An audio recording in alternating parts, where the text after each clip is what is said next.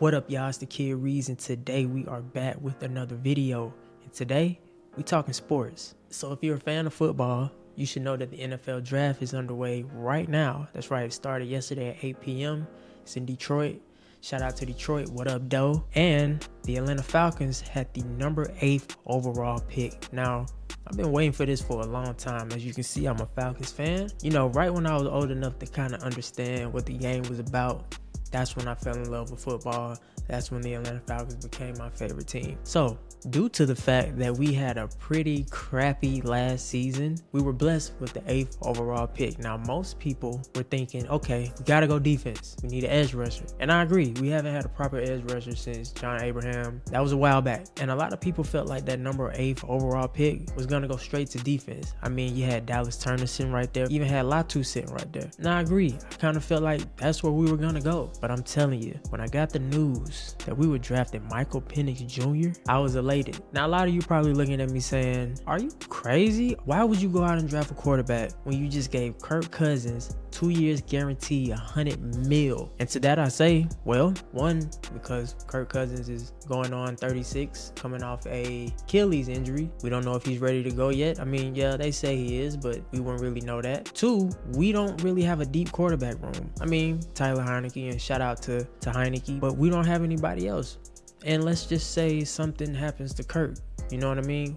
Who else we gonna have in that quarterback room to back us up? So when they went with Michael Penix Jr. for that number eight pick, I was ecstatic because last year I became a Michael Penix Jr. fan. But the game where I really fell in love with his play was that Texas game. Pure passer, pure pocket passer. It's the flick of the wrist. You know what I mean? He's putting the ball exactly right where he needs to be. I like how accurate his throws are. You know, when he, he'll toss it right over the top, but it's right where the receiver can get it. He has running ability. He doesn't do it, but I feel like if he were to do it, they'll be like design runs, and I feel like he could definitely take advantage of that. Now, most of the Atlanta Falcons fan base is divided right now. Some people saying this was an idiotic move. You shouldn't have done it. Gave Kirk all this money. Some say, I love the move. I love the fact that Kirk has some competition in there staring him down so that he knows, like, okay, yeah, you got paid. But hey, you got to go out there and perform.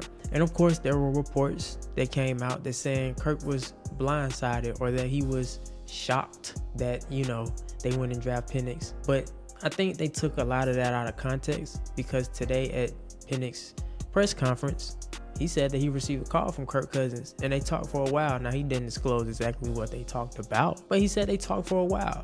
So that is promising knowing that Kirk is willing to invite him in, show him the ropes, because this is what we need. Let Penix sit for two years. Let him sit. Let him learn the game. Let him learn for Kirk. Now, a lot of y'all will say, well, he's 24. Oh my gosh. He's so old. Listen, by the time he'll play, he'll probably be around, let's say, 26. And to that, I say, if he has the proper training, if he takes the game serious enough, that won't be a problem.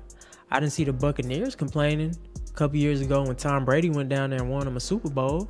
They didn't care how old Tom Brady was. They knew he came down there to do business, and that's exactly what he did.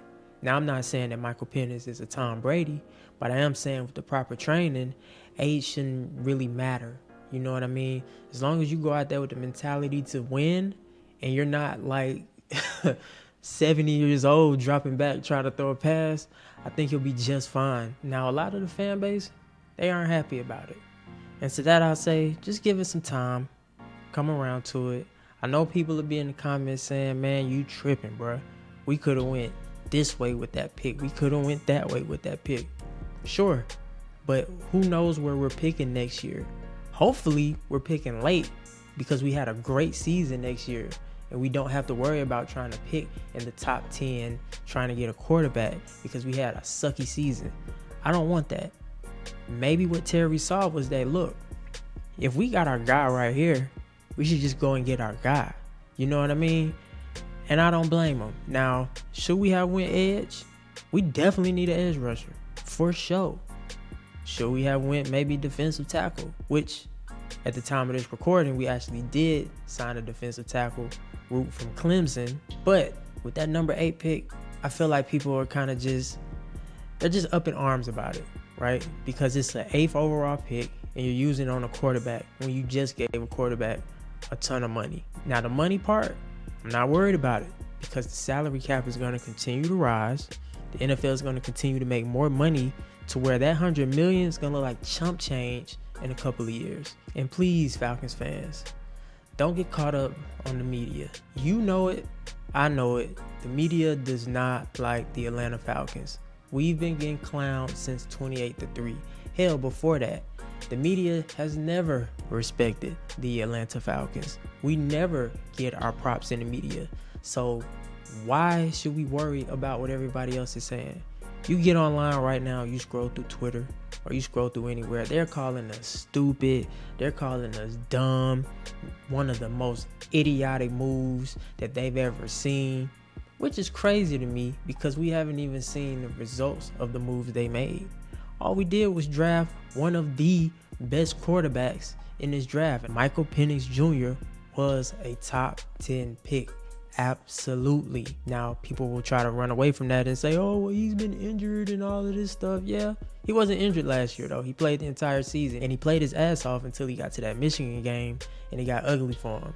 And that's just because he didn't really have a lot of good protection. I mean, it was rough.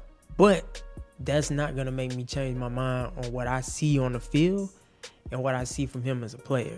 But he just cold with it, you know, and a lot of people won't admit that, but he is. Who's to say that the Saints would move up and try to get him? I don't want the Saints to get him, especially as an Atlanta Falcon fan. Boy, no, I don't rock with the Saints at all, boy. So I'm glad that the Atlanta Falcons went and got their guy. I think they made a great decision. I think he is a great player, and I trust Terry. I trust Coach Raheem to go out there and get the best player available, no matter if it's free agency, undrafted free agents. I don't care. I know Terry has eye for talent. He's gonna go get it, and we're gonna make this team one of the best teams that we've had in a long time because you feel like me I feel like you, we ready to win, right? If all Atlanta Falcons fans can agree on one thing is that we are ready to win, then that's for sure, for sure. Now, all of this talk about Michael Penix this, Michael Penix that, Kirk Cousins that, all this will go out the window once we start winning. Winning cures all.